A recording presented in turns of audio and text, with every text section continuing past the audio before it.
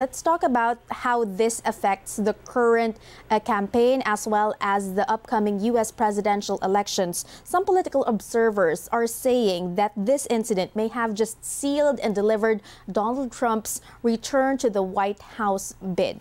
Tell us, why are voters now more drawn to the Republican leader who has survived an assassination attempt? Well, number one is everybody, uh, whether it's the United States or the rest of the world, we do have sympathy and empathy for people who are, you know, victims of political violence, particularly political leaders uh, at the highest position in in the land. So you're going to get a lot of, uh, you know, sympathy and empathy for him. Uh, the way he has, uh, President Trump has showed himself as resilient, even under fire right, raising his fist and being defiant, uh, even though he was, uh, you know, he was he has just been shot. Uh, you know, putting out his fist there is is going to be a uh, a moment that's going to be in the visual of many uh, many voters, uh, whether you are a Republican, a Democrat, or an independent uh, that's going to be sticking uh, in, in everybody's mind. Right. Dr. Gonzalez, we've learned from covering elections and campaigns over the years that this is a battle of optics. How difficult would it be for the Democrats to actually mount a new strategy against the slew of photos, strong photos that show Donald Trump raising his fist while one side of his face is uh, bloodied? How difficult would it be to fight this kind of optics from the Republican side?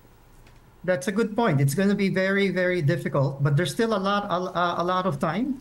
And as you can see, we never expected this to happen during the campaign. So, uh, you know, it's always evolving until you get to that ballot box and uh, you know votes are counted. So there there could be uh, more images and visuals that will uh, come out. There might be counter visuals that will come out. Things might happen, uh, you know, along the way. But right now, uh, what is galvanized in everybody's mind uh, across America and the world is that uh, you know we have uh, a former president, a leader who's defiant even under fire, and that's the that's the image that's and the messaging that the image is sending. Right, strong message right there. Very strong challenge also for the Democratic Party. But despite this strong messaging and this strong imagery that came out from the Pennsylvania incident, some camps are also doubting the authenticity of the actual attack. If you notice on the videos that we play uh, on our screens earlier, some of the audience that were sitting behind the president did not even disperse to run despite the sounds of gunfire, of gunshots. Uh, there were also criticisms about how several um, uh, how several security, Secret Service agents were uh, quite unresponsive to the alerts that were made by some bystanders saying that there's a guy on the roof with a rifle and they're saying they're claiming that the Secret Service basically did not act on their calls. What do you make out of these uh, these so-called um, uh, conspiracy theories that the Republicans might have staged this incident? Well, uh, we are in an era of high social media and high, uh, you know, uh, alternative uh, explanations that are always out there, and this is natural for this to happen, right? Conspiracy theories will come out from left, from right, from center about this event. But one thing we know, we were, you know, we were all watching, right, when this happened and uh, people are shocked. Uh, people are actually in disbelief that this is possible in this day and age, that somebody can actually shoot a president, given all the layers and preparations of multiple law enforcement agencies. Uh, this is a lapse, of course, uh, in the Secret Service uh, approach to securing perimeters and securing the president. How can there not be uh, you know, a law enforcement security, either a federal, a local, or state, in that, uh, you know, on top of that roof, uh, where the, you know the gunman, the shooter, was able to uh, get get uh, get on top. So definitely, th- there is a big lapse, uh, you know, in security. But the images that we saw are real. people, of course, the natural reaction of people is to get shocked at this event and not to, you know, not to move maybe they were even thinking that this is just uh, you know a firecracker or some popping sound so which is natural in many events that happen in in, in in, in the United States especially post July 4th, right? So, uh, but this is real. Uh, what we saw is definitely real, uh, Katrina. Right. Professor Gonzalez, Donald Trump, during his presidency, has been known to support the rights of Americans to own guns. He has repeatedly shunned calls to enforce stricter laws on gun ownerships, despite several attacks in different states. Now, how likely is it for Trump to reconsider his stance on gun ownership after this incident?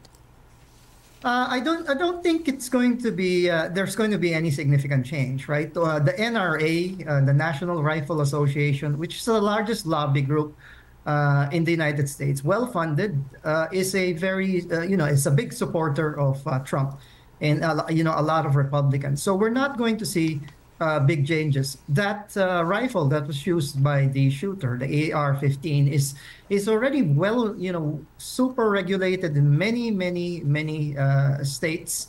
And uh, what we're seeing is that it continues to be used as a, uh, you know, a, a, weapon of choice of of uh, of, of you know of shooters, you know, in, in, in the United States. So we are uh, going to see probably some symbolic uh, movements towards regulating uh, guns, uh, particularly from President Trump and the Republican Party, but there's not going to be any significant uh, move there. All right, Professor Gonzalez, let's go to the other side of this political fence. Let's talk about Democratic candidate U.S. President Joe Biden. How does this incident actually affect his bid for re-election? Uh, definitely significantly, as you see, as you, as we all saw in the United States during the debate, he didn't do too well. So he was trying to get back uh, and pick up, uh, you know, uh, more, uh, you know, more points from the public, uh, more, more, you know, more support. And this event that happened right now doesn't help him at all. there's already talks within his party, the Democratic Party, for a replacement for uh, you know President Biden, and and this will only uh, increase uh, those voices. He uh, after the incident, though, he acted very presidential. Uh, he called up President Trump. Uh, he of course asked for an in independent investigation.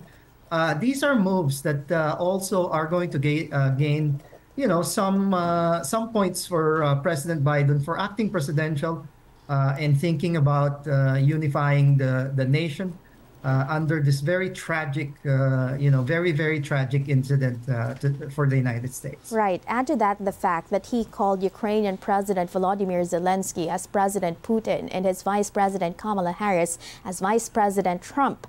Quite a steep uh, slope here for U.S. President Joe Biden. Does the Democrats actually have enough time to field a new candidate, assuming that the incumbent would actually finally decide to give way to a more uh, suitable candidate? There is, but uh, as you know, they are, you know, conventions, just like what's going to happen on the Republican is going to happen on the Democratic side. Uh, and uh, there are already delegates from the Democratic side who are pledged to vote for him there. But he could back out, right? This is President Biden's call. Anytime he backs out, then the you know the next person up, there has to be somebody who will step step, uh, uh, step up uh, in his party. And the Democrats do have uh, a stable of candidates that are you know able to step up in this position.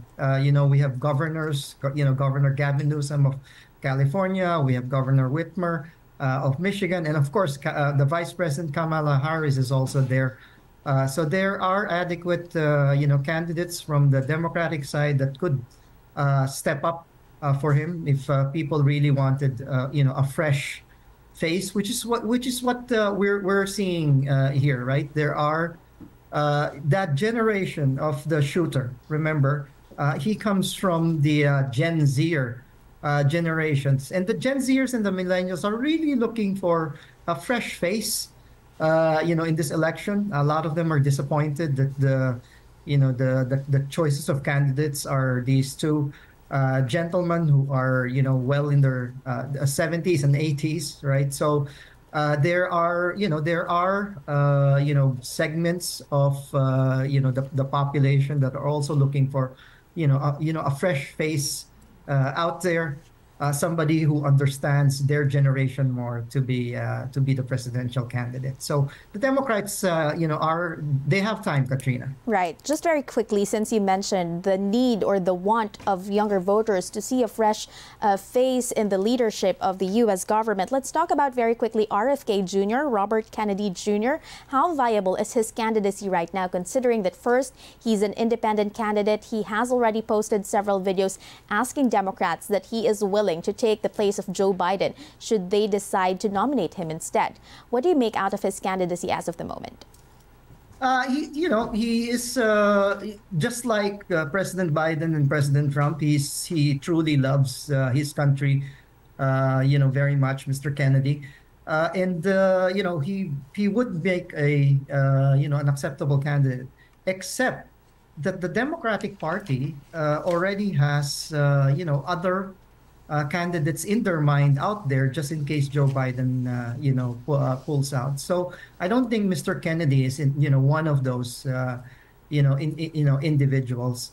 Uh, he also uh, is, you know, polling not very well. You know, he's not polling very well amongst many, you know, many, many out there, including, you know, the millennials and the Gen Zers. There's a lot of Gen Zers that are, you know, going to be both voting for the first time uh, and uh, they need somebody who more you know who's like, more exciting right? Uh, i don't think mr kennedy is uh, you know uh, able to uh, also give that excitement that they're looking for. Mm-hmm. since you mentioned gen z voters who are voting for the first time the gunman who was shot dead is a gen zer a first time voter and a registered republican. What do you make out of those facts? Well you know maybe uh, the interpretation that, uh, which is what I said earlier, you know, the, the shooter represents a generation that's looking for uh, somebody who understands them, uh, somebody who sympathizes with their with their issues and their causes. Uh, you know, so and they are not happy with the choices that they have, you know, right now. So we're you know, that this is a generation too. You know, we all are, you know, around Gen Zers. I have a daughter who's a you know, a, a Gen Zer, and they are wired very differently, right? Uh, they are very particular about their uh, choices, uh, and uh, you know, uh, when they when they uh, are, are committed to somebody to, that they will support, they will you know they will push forward with that, and uh, right now they're not too happy with the with the choices that uh, that they have uh, you know in the in, you know in the United States presidential elections. Right. It also piques my interest because as you mentioned, Gen Zs are quite um, very very pushy when it comes to their choices. The Republicans are quite hell bent on pushing Donald Trump to return back to the White House, and yet Thomas Crooks is a re registered Republican. You would assume that he's quite happy with how Trump is doing compared to U.S. President Joe Biden, which again brings to mind the question of his motive and the conspiracy theory that this again might be staged by the Republican Party. Talk to us about how salient those points are right now among U.S. voters. I love your question, uh, Katrina. Thank you for asking that. You know, so even within the Republican Party, they are segments. Uh, remember, there are people in the Republican Party who are not, who, you know, who are not sold to President Trump uh, being their, you know, candidate. Of course, they're all, uh, they will all at the end of the day stand by, uh, you know, their the party's chosen candidate. But right now, there are also segments uh, in the party who are not too happy uh, that you know that they're going to see somebody who, uh, who Donald Trump uh, you know represents now in you know in, in, the right. They feel that he is uh, too extreme, uh, and they're looking for a candidate who's a little bit more moderate, right? Uh, that who can attract independent voters and of course Democrats to vote for them. they have an opportunity right now because Americans are feeling particularly Gen Zers and, and, and millennials, they they are feeling the economic crunch very much. Uh, they they are not able to afford homes right now. It's it's totally unaffordable for them. Uh, you know they're noticing that uh, you know the, the prices of goods uh, you know are quite uh, high. So uh, you know th- that that's an opportunity for somebody closer to the middle of the Republican Party, of course, to uh, you know, to take over. And I and I and I think, right, the shooter who's a Republican uh, you know, is also thinking along these lines, right? The, that he's probably, uh, you know, not uh, happy with the extremism, uh, you know, that Donald Trump, uh, you know, represents right now in the Republican Party. Right. Uh, Dr. Gonzalez, as we wrap up this interview, we have to put this in the Philippine context. The Philippines is also set to cast votes in less than a year. Election season is also dawning here in the Philippines. What can candidates and voters here actually learn from the incident in Pennsylvania?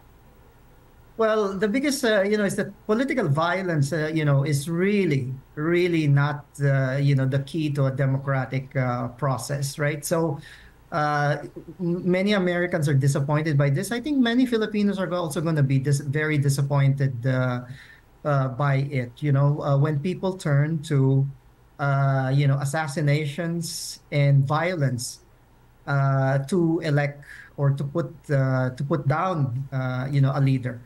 We really need to move more towards peaceful means and rely on the ballot box as the way to elect our leaders, if we are really going to truly follow, uh, you know, a democratic uh, democratic process. I like that President uh, Marcos has already issued, uh, you know, a statement condemning uh, this violence and acting presidential and sending a message to the Philippine electorate that we should not follow the same path that we're seeing in the United States right now. We should be mature enough to think uh, and act in a more civil manner uh, when electing our leaders in the future. Some worries here right now include that some potential candidates in next year's midterm elections might be quite inspired with how uh, Trump's candidacy was bolstered by this act of violence. Some are worried that uh, some candidates, especially in far flung regions, might try to mount their own so called assassination attempts in order to boost their candidacies, their popularities. Because, as you mentioned earlier, voters tend to sympathize with the underdogs. How do you then, how can authorities then ensure that this kind of tactic, that this kind of strategy will not happen in next year's polls here in the Philippines? Well, lessons learned from uh, you know the Secret Service and its probably lack of coordination, uh, lapse uh, in coordination with local agencies.